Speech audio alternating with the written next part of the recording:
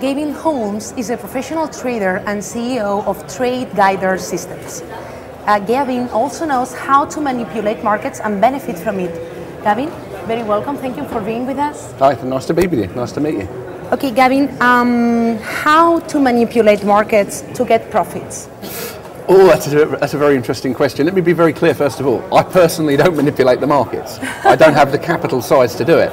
What we do do, however, is we recognise on a chart when big operators, we call them the smart money, are moving into the market.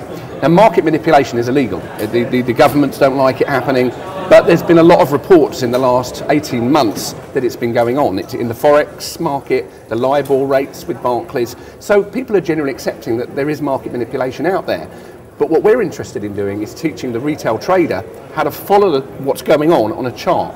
And how do they do it? It's quite easy actually when you think about and it. And how to benefit from it? Well, the individual person trading on reading a chart will see that as a market is undergoing a manipulative event, a good example would be silver in 2010, which was widely reported actually uh, at the time that a trader called Andrew Maguire had gone to the American government and said they're about to manipulate the market. Mm. Um, and it was two large banks that were being put in the frame um, since I believe they've been exonerated. But on the day that happened, which was 5th, 5th of February 2010, there was a very clear volume spike on the chart. Mm. So the market was moved down very rapidly, very quickly, leaving this giant volume footprint. Anyone can go and check this. And we call that a shakeout.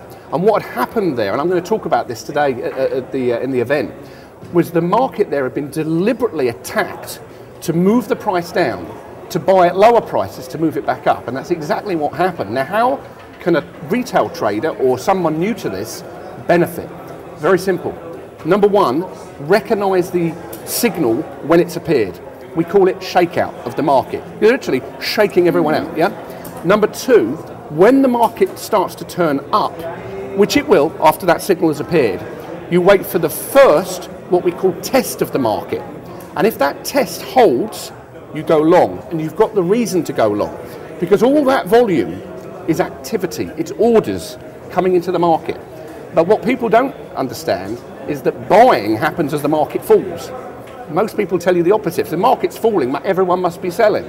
That's where people get misled. So you, are presenting, you've presented four uh, top trade setups. One of them is, is this sample that you've just exactly. It is indeed that exact example. Yep.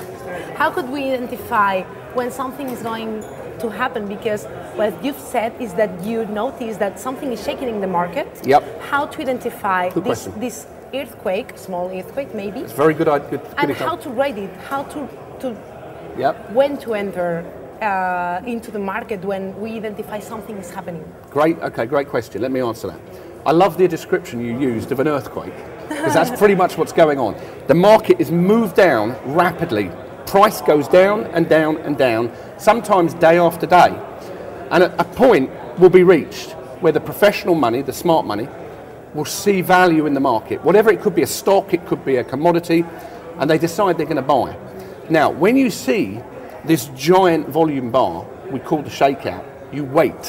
Hmm. Don't do anything. And the reason you can't do anything is the trend is still down.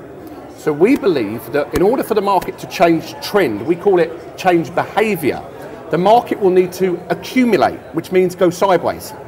So we wait. Now, as the market goes sideways, where the earthquake happened up here, eventually price will go back up past the top of the earthquake, mm-hmm. to use your analogy. Once it's gone through that level, it's evidence to me, and, and I used to be a policeman, so I always think like a police officer. This has given me the evidence mm. that that has to be buying here at that price. And then I wait for the first down move into the top of that bar with very low volume, and that's the signal to buy. That's the signal. Because you've now got evidence that the market has changed behavior, has moved through the top of the earthquake. I'm going to use that. I love that signal. and has then tested that level. And this is a very old principle, been around for hundreds of years. It's nothing new, but we've computerized it to find that setup for us in any of the markets. So what's what's um, you do? And let's move a little bit the subject. Let's let's change into uh, S and P. Yeah. Um, how do you think that it's it going to perform till the end of the year? I think it's bullish. I uh, the, the, what what, what uh, many traders don't use and they should use is what's called a trend channel.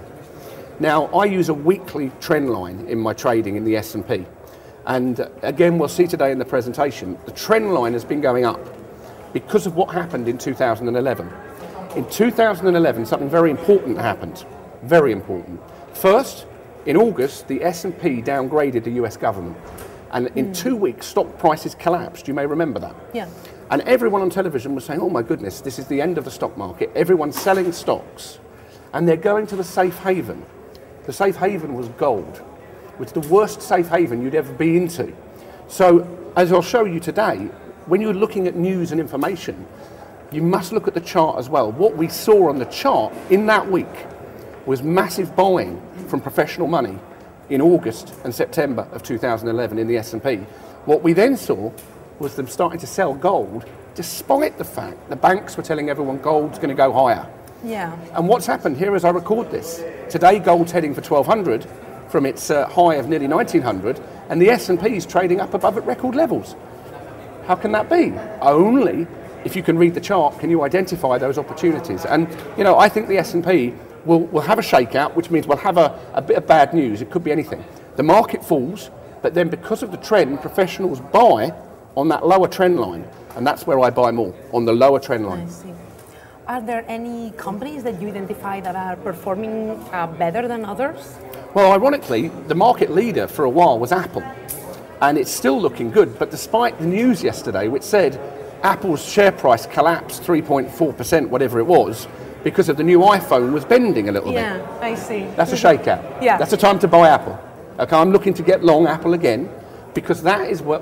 What on earth is they've sold? How many So millions? You, you of- don't you don't only look at charts. You also consider fundamentals, news. I do the opposite of what the news infers. Ah. okay, so if I see bad news about an instrument that's been falling, I look to buy it because I buy lower. I don't buy high. Uh, and Professional traders don't. That you don't buy something that's going up because it's going to come back down. So Yeah, you buy it as it comes back down. That's a fundamental rule. But the problem retail traders have is they're using MACD, stochastic, moving average, which is telling them to buy. And sometimes they get a profit and then bang, like what happened with Apple. So we buy when we see a VSA principle on those dips. So you wait, you're patient, and you wait for the evidence Correct. Hmm, that the price has the, the right signal Correct. that tells you to buy it. Correct. Very simple. Okay. And uh, I have the surname Holmes, like Sherlock Holmes. So I, I always I think of the detective on Exactly. me. I think, do you give me the evidence? In fact, I know that sounds odd, but I actually ask the market to tell me what it's doing. I don't make an assumption. I, I let the market in the chart tell me what it's doing, why it's about to do it, and then I react accordingly. So S&P is bullish at the moment. Mm-hmm. What about European stocks? Well, again, you've got a mixed you've got a mixed message there. What we teach is um, a method where you look at the parent index. Let's say the FTSE, the 250. Yeah. Now that's been going up. There's no one can argue with that fact. It's been bullish. However, it's also had dips. Now the golden rule for buying a stock is first of all you want to buy a stock that is acting stronger than the index. And we have a way of comparing that. So you, you draw the chart of the index, and if there's a stock that as the index falls one day, the stock doesn't fall, that's the one you buy. Oh, yes. You just wait because it means professional money are supporting that stock. Now, in a bear market, it's the complete opposite. If we were in a bear market and prices were coming down, you would short stocks that were acting weaker than the index. So if the index tried to go up and a stock continued to go down, then you short it. Very simple. You're using the index. But if you look at a weekly chart and a monthly chart of the FTSE, the S&P, the Dow Jones, all of the major indices, they're bullish. And I'll show one. Despite of the political landscape in Europe, uh, we've seen recently, well, all the tensions in Ukraine are still there. Uh, UK has has been through the the Scotland uh, voting about succession, and well, not to mention Catalonia and Spain, Yep. which are in the same process nowadays. What, how do you think that our stocks continue to be in in this uh, trend despite of the political issues? because the political issues, believe it or not, have no direct correlation with the individual stocks. I'll give you an example. Apple's stock price is not geared to what happens in Russia, I can assure you. Yeah, that's Right? true. Professional hedge fund managers who, who trade Apple, I trade Apple. What happens in Russia, we can't control it. What happens with the market, however, is sentiment. The market's driven by emotion and fear and greed and sentiment. That's how it's always worked for hundreds of years. Since the tulip markets going back hundreds of years, sentiment. There's two types of sentiment. There's bullish sentiment and there's bearish sentiment, or you get neutrality. Now, I remember a time when the S&P was only moving in two or three point ranges. You know, and everyone was saying, well, what's going on? Nothing's happening. Suddenly you've got wonderful volatility. The VIX, the, the index of fear, mm-hmm. is, is back again. That's great for a trader. So when you see all this news, always look at what the effect it has on the chart. Remember, we were told that gold was going to hit record highs. It did go higher. But the minute or the week the bank said this is going to make an historic high, it's fallen to yeah. massive lows, 30 year lows. So, what we've got to watch out for, I think, and I do, is I don't get too influenced by what is on the news. Because I can't change it, I can't affect it, and it's just sentiment, and it creates a lot of noise in the market. So I remove the noise by just looking at the chart. Mm. Um, a, a good example I can give you, which will help you understand. In 2010, the BP oil spill took place in the Gulf of Mexico. Do you remember this? And I was presenting at MIT in Boston, the Massachusetts Institute of Technology. And I'd just done a scan of my stocks and I'd got a big buy indicator for BP. This was the week that they said we cannot cap the well. Same week, buy indicator. And I'm, that yeah, can't be right. That can't be right. I, I, and I, I looked at it, I can't be right. I then see on television there's Colonel Gaddafi on the news saying we're going to buy BP. Libya's going to, and I'm thinking, what's going on? And I look at my chart, and the next day, after this fall, the price went up. On this massive volume, the next day, the price moved higher. Someone's buying here. Mm. Now, I had to question it myself, but do you know what happened? The price nearly doubled in six months. And I'll show that chart today. And everyone looks at it and says, I remember that. I was selling. I said, I know. The professionals are buying from you. Yeah, and BP was trading up at $56 only a few weeks ago. That was your evidence. We've got it. You'll see the chart. Again, everything I'm telling you here in this interview in 2014 is on the chart. It was on the chart on the day that it appeared. But the problem is with human emotion and sentiment, you'll miss that trading opportunity because mm. you'll be so in tune to the news and the negativity and the fear. And you'll ring a broker and say, well, I think I'm buying BP. Buying BP? That's what they'll do. And it'll it'll literally, you'll miss a very good trade. And this happens in all markets as well.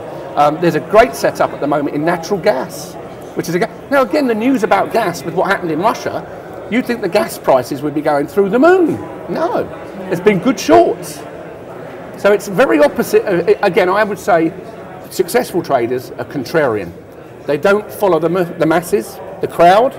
They just trust their instinct, read the chart, take action, and that's how that's okay. how I trade. I think that we're we're going to to stay focused then on charts, yeah. reading our charts, being patient, yeah. and looking for evidences yeah. that are going to tell us when to enter the markets. Mm-hmm. Thank you, thank you very much, Gavin, for being with us. Pleasure. Nice Thanks. to meet you.